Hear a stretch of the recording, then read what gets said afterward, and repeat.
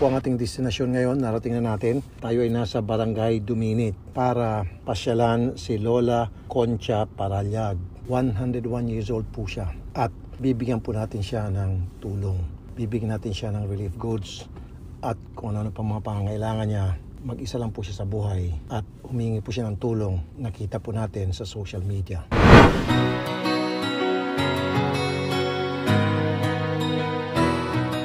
Magandang hapon po. Nandiyan si Lola Conchita. Thank you po sa pagkakita, sir. sige po. Sige po. 101 years old na po siya. Magandang hapon po, Lola Conchita. Ito yung tungkod na dati pang binigay ni ah, Jocelyn dito kay Lola. Kaya binabalikan lang po namin siya para kumustahin. Sino pong nag-alaga sa kanya? Kayo ano? Sino ang nagluluto sa kanya? Balik, salitan na kami ngayon, sir, na pag-aalaga sa lola namin po, sir. Ano kayo, anak o apo? Ako lang po. sir. Eh, sino kasama niyo dito matulog? Siya lang po, sir. So, salitan kayo ng kapatid mo. Hindi, lahat po kami, sir. Mga tsahin po, mga anak na ako niya, sir. Ako po, sir. Ah, okay. Yan po yung hiningi namin kay mga nag-isip. Noon. Kumusta, Lola? Kailangan, makakawatayin naman sa mga aso. Ang sabi niya. Okay lang Ah. daw po. Sa na- mga nag-antay po ng mga... Gawan nga lang Ang ka makaturog. Apay. Apay ang ka makaturog. Hindi ka mo, lahat makatulog. Apo, madi.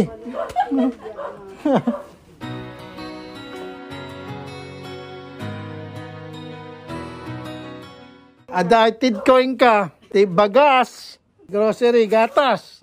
Dilata. Kayat mo.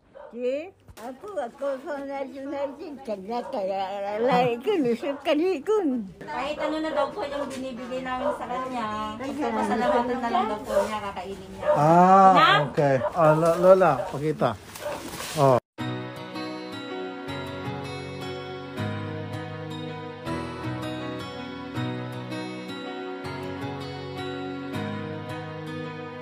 May gatas.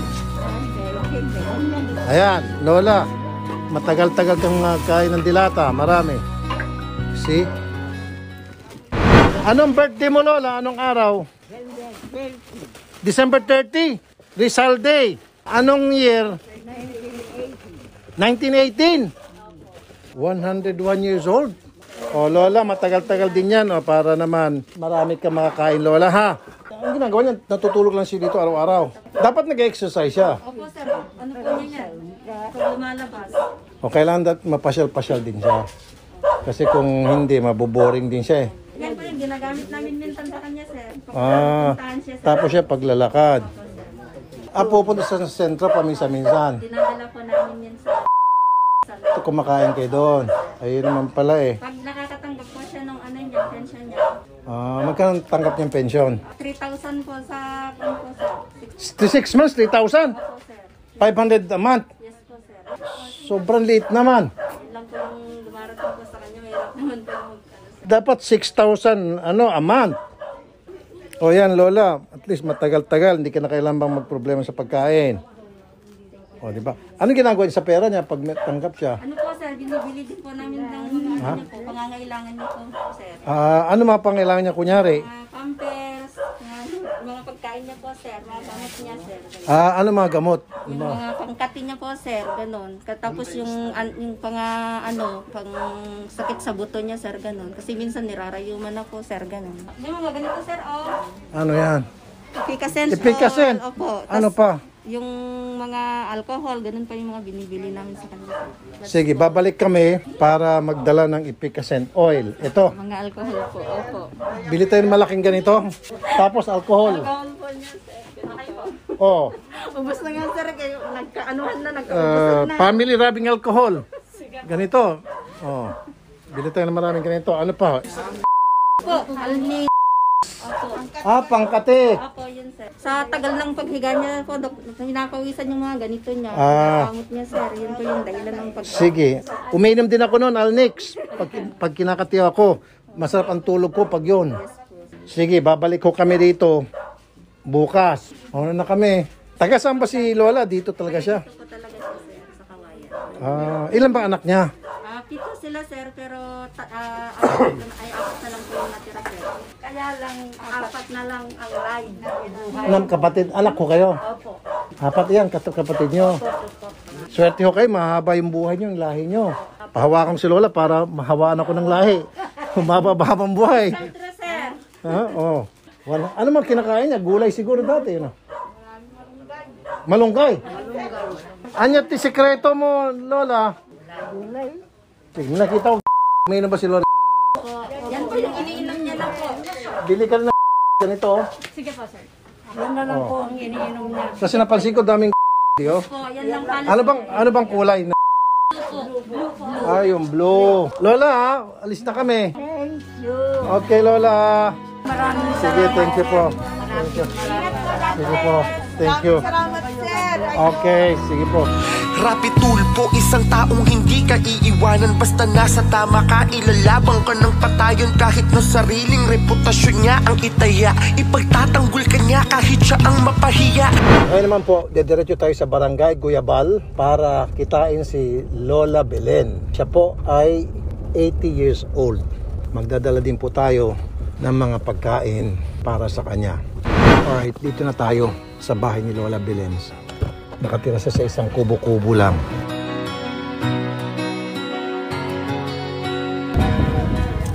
Oy Lola Belen! Ah, Thank you. Oy, walang anuman. Malakas ka pa, Lola. At least nakalakad ka pa, oh. Lola, nagdala kami ng mga regalo sa'yo. Nagdala kami ng bigas. Apo, Thank Lola. you sa iyo Opo, Lola. lahat. Ganito na ang matanda talaga. Pero Lola, awa ng Panginoon, malakas pa kayo. Ilang taon na si Lola? 80. Oh, mabait si Lord sa inyo. Binigyan kayo ng magandang pangangatawan. Ayan, Lola, oh. Marami dito yung mga instant noodles, may mga dilata, may mga gatas dito, Lola. Tapos meron tayong mga biskwit, merienda, Lola. Sana, Oh, Lola. pag ako ang mamatay, punta naman kayo. Matagal pa yun, Lola. Mga 50 years pa. Ay, naku naman, 50 anak. years pa yun. Kayang-kaya yun, Lola. Ayun. Ayan. Lola, meron kaming dalang-dalawang bigas, Lola. ah.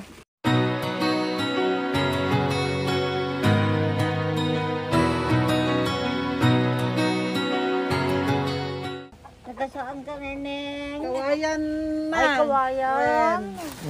Anong birthday nyo, Lola? December 24, Oh, yung kanina pinuntahan namin, December 30. Kay December 24. 1939. Isang araw na lang, Christmas na. Oo, Oo. isang araw mo lang. Oh, ilan po anak nyo, Lola? Apat, pero namatay isa. Ilan na po nyo? Apo nyo sila. Anak ko yung malugang apo ko Taga saan kay Lola? Dito talaga sa kawayan. doon sa Dito kawayan. talaga. Eh, si tatay, Dito rin. dito rin si Lolo. Pero namatay. Sige. Sinong kasama ni Lola dyan? Ako lang. Okay naman dyan, Lola. Tulugan mo. Oh. Pwede makita. Ito po yung higaan ni Lola. Halika. Ito yung ano, tirahan niya. Ito lang. Isang dipat kalahati lang po. Yung ah, tulugan niya. At ito na po yung pinakusina. Eh, paano pag umulan? Hindi na babasa si Lola? Kala kuya ko, hindi sa bahay ko, sir. Ah, pag dito, pag yung magandang panahon. Anong sekreto, Lola? Ba't malakas? Oh, malunggay. Talong. Karne. Ay, delikado palang karne. Masarap pala yung maraming gulay. Lola, alis na kami, ha? Oh, thank you, anak. Oh, walang anuman, Lola, ha? Rapi tulpo, isang taong hindi ka iiwanan Basta nasa tama ka, ilalabang ka ng patayon Kahit na sariling reputasyon niya ang itaya Ipagtatanggol ka niya kahit siya ang mapahiya Ang sarap kapag panatagsan man ng iyong tungtungan Dahil merong rapi tulpo ka na mas Mission accomplished po tayo. Dalawang Lola ang ating natulungan at nakita ko po yung kasiyahan sa kanilang mga muka. Ang kagandahan lang po dito sa dalawang lola, di tulad ng mga ibang natutulungan namin na nag-iisa lang sila. Dito, napalibutan sila ng mga kamag-anakan.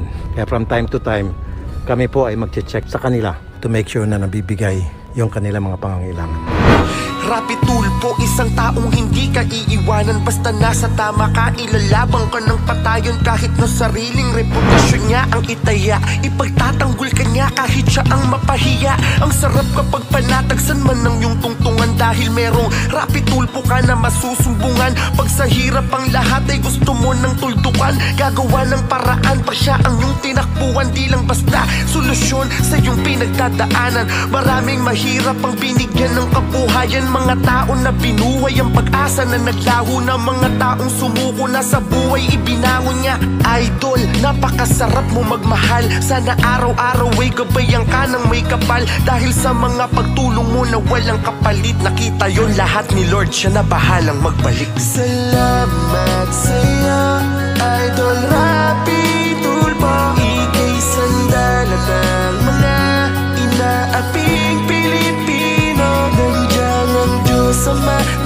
seats